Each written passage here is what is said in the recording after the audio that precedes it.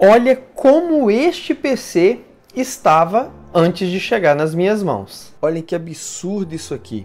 Um suposto PC gamer foi montado em uma loja na internet, muito conhecida por sinal. Olhem isso. Gabinete sem refrigeração adequada, fonte em cima para pegar quente, placa de vídeo sem espaço direito para refrigerar, uma montagem bem bagunçadinha, mas olha isso aqui. Olha como montaram a placa-mãe, fazendo o conector ficar desse jeito, faltando tampinha aqui. A tampa eu tirei o parafuso, olha como é que a tampa ficou e olhem isso daqui. Que absurdo, ó. Os cabos todos embolados desse jeito e como já é de praxe dessa loja, que eu conheço várias máquinas montadas, os cabos passando dessa forma, forçando a placa-mãe e gerando danos irreparáveis. Tomem cuidado, pessoal.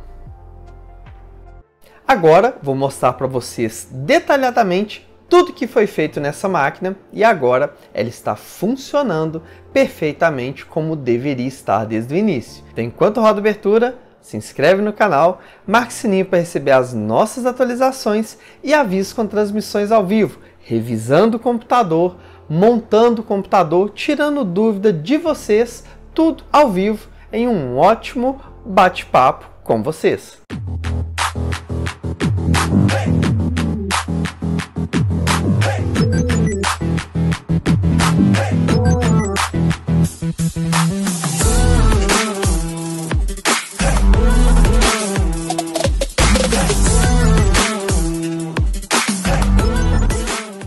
Pessoal, aproveite as promoções da GVG Mal para o mês de novembro, para Windows 10 Pro, Windows 10 Home, Windows 11 Pro e ainda Office 2019. E além da promoção da GVG Mal, um desconto especial usando o código PBRX ou PB20 que dá 25% de desconto para vocês aqui na parceria da GVG Mal e do Portal BRX, trazendo sempre produtos de qualidade e um preço inigualável para vocês. Como vocês viram no vídeo, o computador estava bem atrapalhado. Muita gente comentou, no momento da gravação desse vídeo, mais de 560 mil visualizações, mas nesse vídeo eu vou detalhar para vocês o que eu fiz e a importância importância de um computador ser montado corretamente. Reparem lá que o computador não tinha refrigeração, com isso ele aquecia muito mais. Eu fiz algumas modificações,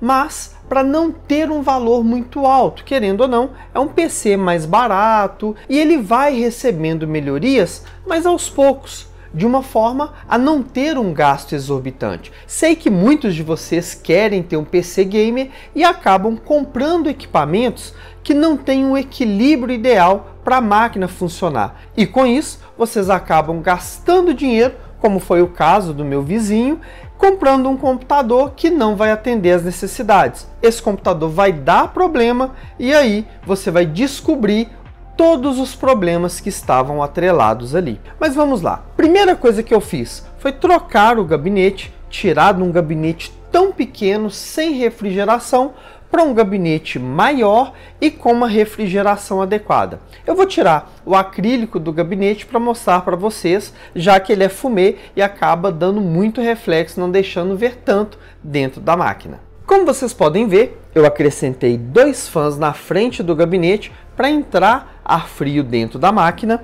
Do lado de cá, na parte interna, vocês podem ver que tem mais dois fãs no teto trabalhando com a exaustão do projeto, placa de vídeo montada direitinho, placa mãe na forma adequada. Aí vem uma outra alteração. No processador, eu acrescentei um cooler maior do que o que vem de fábrica para este processador. Com isso, um paliativo para melhorar a refrigeração do processador, que sim estava esquentando bastante em jogos, ou seja, o cooler original é fraco para atender em jogos. O ideal seria colocar um water cooler para melhorar, mas claro, o custo disso é mais alto e com isso eu entrei com um cooler também original da AMD, só que de um processador mais potente e com isso conseguir um paliativo de ter uma refrigeração um pouco melhor, a ponto de melhorar o desempenho do processador sem ter que gastar muito. Aqui nós temos só um pente de memória, o ideal seria dois para poder trabalhar em dual channel e ter um desempenho melhor. Claro que às vezes eu recomendo para o cliente utilizar um pente de memória, mas existem alguns parâmetros que eu abordo ali para colocar uma memória só. E com isso equilibrar o custo-benefício de cada projeto. Os cabos, daqui já dá para ver que está tudo muito bem organizado. O ar dá para sentir o ar entrando e saindo. A placa de vídeo agora trabalhando melhor, tendo uma refrigeração adequada, um espaço abaixo da placa de vídeo mais satisfatório, a fonte embaixo. E por que isso? A fonte em cima é um problema Pessoal, dependendo do projeto, sim, é um problema. Quando o gabinete é muito apertado e a fonte está em cima, ela pega todo aquele ar quente gerado pelo processador, gerado pela placa de vídeo, e esse ar quente, obviamente, ele vai subir. Com a fonte em cima, ela vai receber o ar quente, onde era para ela receber ar frio para esfriar a fonte, que também esquenta. Então, dessa forma, com a fonte embaixo e montada da forma correta, ela pega o ar frio debaixo do gabinete e de fora do gabinete para refrigerar a fonte, e esse ar quente vai sair atrás do gabinete. Com isso, o ar quente gerado pela fonte ou o ar quente gerado pelos componentes não vai na fonte e nem o da fonte nos componentes. Por isso, é importante um gabinete ideal voltado para um PC para jogos. Muita gente critica: "Ah, a escolha da peça depende do cliente, não da loja". Mas não custa a loja dar uma informação para o cliente que determinado processador seria ideal, um gabinete melhor, a fim de ajudar na escolha do cliente e não simplesmente fazer vista grossa para poder garantir uma venda de um equipamento. Não adianta vender um equipamento se esse equipamento não vai atender o cliente da forma como ele precisa. Eu não trabalho dessa forma. Por isso que todos os meus clientes eu atendo antes, fazendo uma consultoria, avaliando a necessidade do cliente, para aí determinar quais peças vão atendê-lo de forma satisfatória e confiável. Como vocês puderam ver, aqui está com as peças originais, só modificação do gabinete e dos coolers no gabinete. Isso já ajudou bastante o projeto. Vamos a mais detalhes. Aqui atrás do gabinete, como vocês podem ver, montado de forma adequada, inclusive o espelho que estava enfiando na conexão HDMI eu desmontei ele, tirei os amassados e montei da forma correta a fim de não ter mais nenhum problema com a montagem da máquina. Isso é algo muito importante, acaba às vezes passando despercebido por quem monta não prestar atenção nisso aqui, mas é muito importante que esse cuidado seja tomado. É onde dá até para perceber o quão rápido tem que ser a montagem em lojas assim, que trabalham com fluxo muito grande de montagens de computador. Vou agora tirar a tampa traseira para mostrar para vocês como o projeto agora está montado. Como vocês podem ver, todo o gabinete que eu monto, eu faço um tratamento nele para repelir poeira e ele ficar mais bonito também. Aqui sem o tratamento e aqui com o tratamento. Reparem que este gabinete tem um ressalto ajudando na organização dos cabos, caso fique muito cheio de cabos, ele tem esse ressalto. Parafusos tirados e aqui vocês podem ver como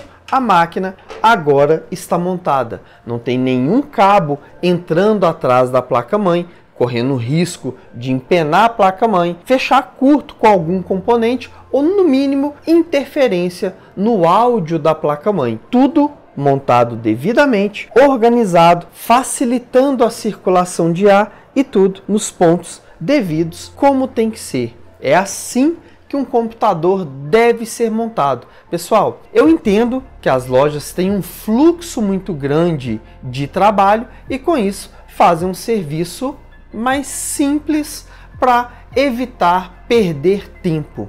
Mas entregar qualidade para o seu cliente, que é quem sustenta você, não é uma perda de tempo, na minha opinião. Por isso, que eu prezo tanto por um trabalho bem feito da forma como o cliente merece receber. Querendo ou não, comento sempre aqui no canal, cada dinheirinho que a gente ganha não vem fácil para os nossos bolsos. Nós temos que trabalhar bastante para conquistar alguma coisa, ainda mais em uma pandemia onde dificultou muito a situação financeira de qualquer pessoa no planeta. Ainda mais em PCs custo-benefício, onde as pessoas não querem gastar valores exorbitantes, às vezes por não precisar de tanto desempenho, mas ao mesmo tempo a qualidade da montagem é muito importante. Então não é porque é um computador barato que o trabalho tem que ser feito com baixa qualidade. Como vocês podem conferir em qualquer vídeo aqui do portal BRX, nos meus mais de 22 anos de mercado,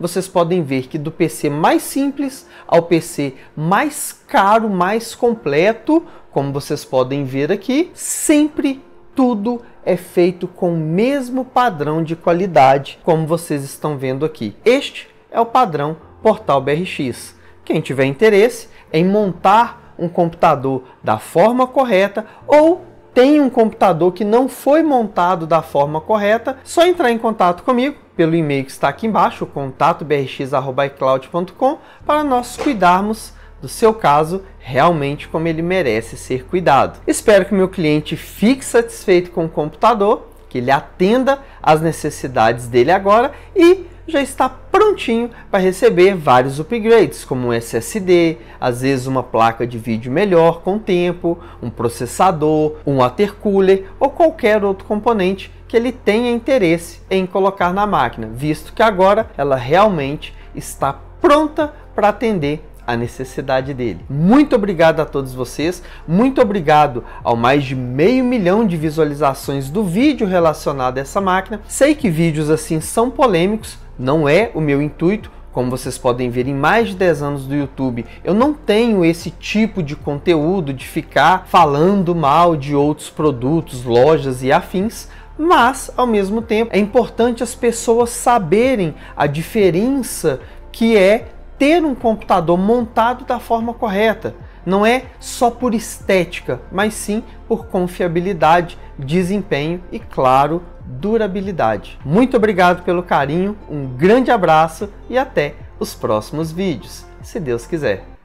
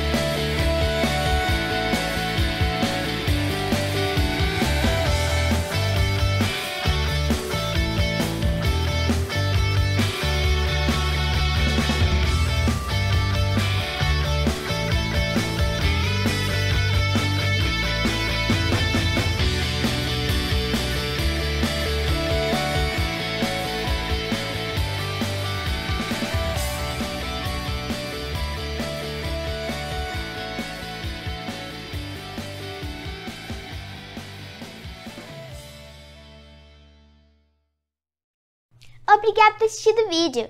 Clique em gostei, se inscreva no canal, marque o sininho para ser avisado dos novos vídeos. E não se esqueça das nossas redes sociais, lá tem muitas novidades exclusivas para você. Tchau!